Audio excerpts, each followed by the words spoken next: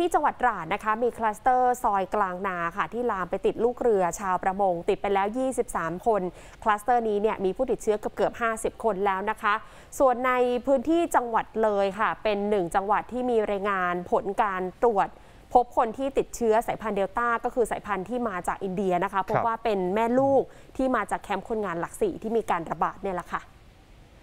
ไปดูในพื้นที่จังหวัดเลยกันก่อนนะคะ ที่ทางนายแพทย์สาธารณสุขจังหวัดเลย เปิดเผยบอกว่า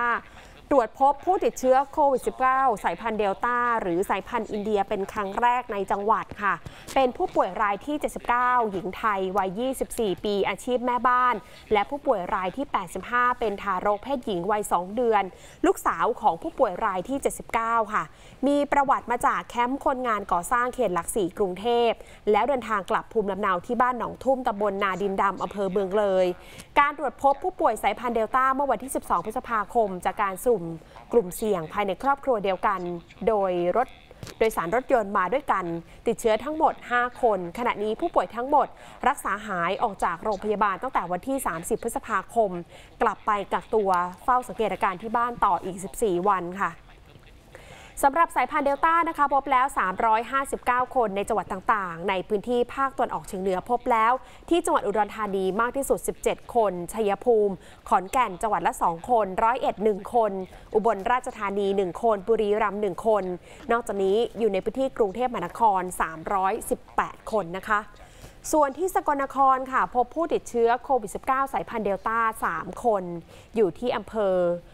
วานอนนิวาส1คน และอำเภออากาศอำนวย 2 คน ปัจจุบันผู้ป่วยทั้ง 3 คนนี้ ได้รับการรักษาหายดีกลับบ้านแล้วค่ะ ยังไม่มีใครติดเชื้อเพิ่ม ผู้ติดเชื้อทั้งหมดมาจากกลุ่มจังหวัดเสี่ยงทั้ง 3 คน ที่ไม่เคยรู้จักกันมาจากกันคนละที่นะคะ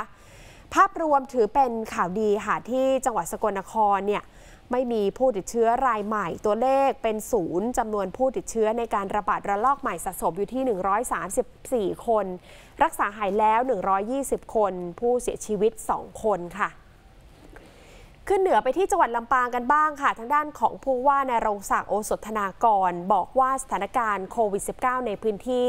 ตอนนี้ที่ลำปางปลอดโควิดร้อยเปอร์เซ็นต์แล้ว ยืนยันว่าในเดือนมิถุนายนนี้จะสามารถฉีดวัคซีนเข็มแรกให้แก่พี่น้องชาวลำปางได้ครบทุกคนแน่นอน พร้อมเตรียมแผนในการฉีดวัคซีนให้ครอบคลุมกลุ่มเสี่ยง เพื่อให้เศรษฐกิจเดินหน้าต่อไปได้โดยเร็วที่สุดค่ะ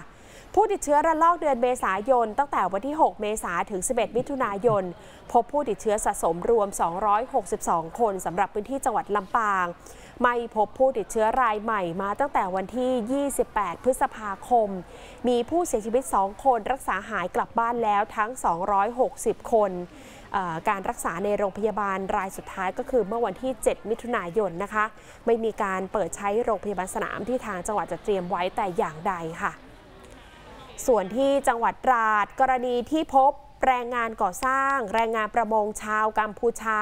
พักอาศัยอยู่ในซอยกลางนาบ้านเกาะตะเคียนตำบลวังกระแจอำเภอเมืองตราดค่ะ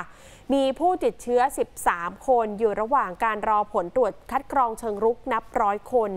ทางสาธารณสุขอำเภอเมืองตราดได้ประกาศล็อกดาวน์พื้นที่ท้ายซอยกลางนา แหล่งพักอาศัยของชาวกัมพูชาใจกลางเมืองตราด เป็นเวลา 14 วันป้องกันการแพร่กระจายเชื้อ ขณะที่เมื่อวานนี้นายฉันแป้นเพชรในอำเภอแหลมงอบจังหวัดตราด สั่งกักเรือประมงสองลำ ได้แก่เรือพอพรประเสริฐและเรือโชควิริยะ พบผู้ติดเชื้อโควิด -19 รวม 23 คน ก็ไม่ให้เทียบท่า